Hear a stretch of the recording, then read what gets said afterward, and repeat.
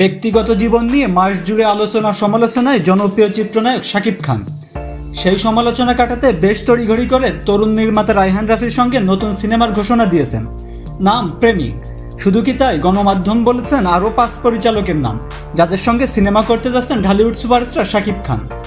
তবে এই ঘোষণা শাকিব খানকে নিয়ে অন্তর্জালে আলোচনা সমালোচনা থামাতে পারেনি। ব্যক্তিগত জীবনের খবরের বাইরে শাকিব খানের সিনে পর্দার খবর শুটিংয়ে ফিরছেন তিনি। তার নতুন সিনেমার নাম শের খান। নিজের প্রযোজনা প্রতিষ্ঠান এসকে ফিল্মস ও কপ ক্রিয়েশনের ব্যানারে নির্মাণ হচ্ছে এই সিনেমা। এরই মধ্যে বাংলাদেশ চলচ্চিত্র পরিচালক সমিতিতে এই নামে নিবন্ধন নিয়েছেন কপ ক্রিয়েশনের কর্ণধার সানি সানোয়ার।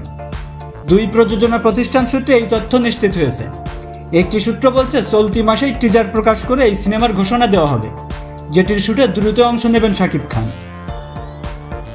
এরই মধ্যে কপ ক্রিয়েশন অক্টোবর ও নভেম্বরে দুটি সিনেমার ঘোষণা দেবে বলে জানিয়েছেন। এই প্রযোজনা প্রতিষ্ঠানে দুটি সিনেমায় সাকিবের কাজ করার জন্য চুক্তিবদ্ধ হয়েছে বলে জেনেছে।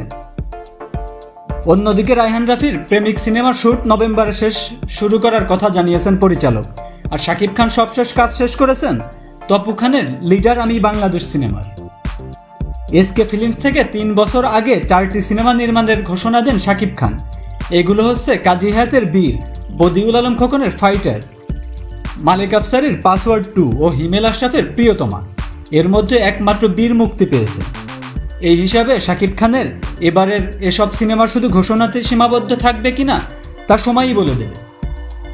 তো বন্ধুরা, ভিডিওটি নিয়ে আপনাদের মন্তব্য কি? জানিয়ে দিন কমেন্ট বক্সে। আর আমাদের চ্যানেলে নতুন হলে সাবস্ক্রাইব করুন।